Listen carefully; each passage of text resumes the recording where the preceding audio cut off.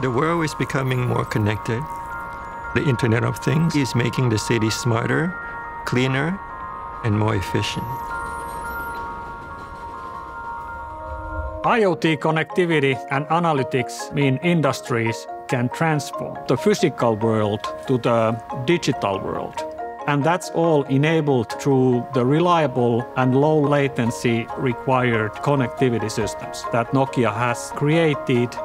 My key focus of the moment is on asset tracking. You are basically tracking your vehicles. And not only that, you can also get uh, diagnostic information. You can use this to do uh, route planning, you can use it to try to uh, reduce fuel costs. You can do a predictive maintenance on the vehicles. So a lot of information can be collected in terms of temperature, in terms of speed, in terms of position in real time. So this is really providing a lot of advantages for businesses to understand and manage their product deliveries. For successful asset tracking, we need a few things. First of all, I think we need something very cost competitive. Then, you know, the device itself have to have very long battery life. In addition to that, it also have to be something that's uh, supported and can be used worldwide.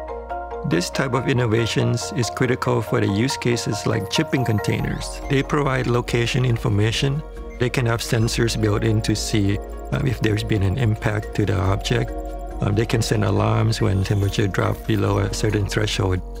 But Nokia, we are also leading on key innovations such as conscious factories, which are taking the Industry 4.0 into practice. It allows businesses to build what, what are called digital twins, which are like uh, digital representations of their system.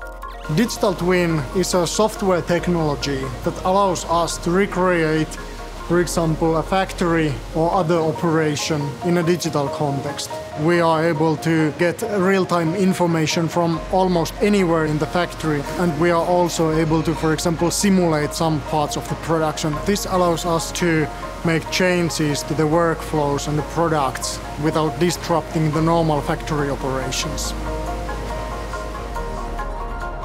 One of the most rewarding aspects of the job is when you had one of those breakthrough moments where you actually are able to come up with some things that other people haven't thought about. And you could see, you know, it's really helping improve the quality of life for society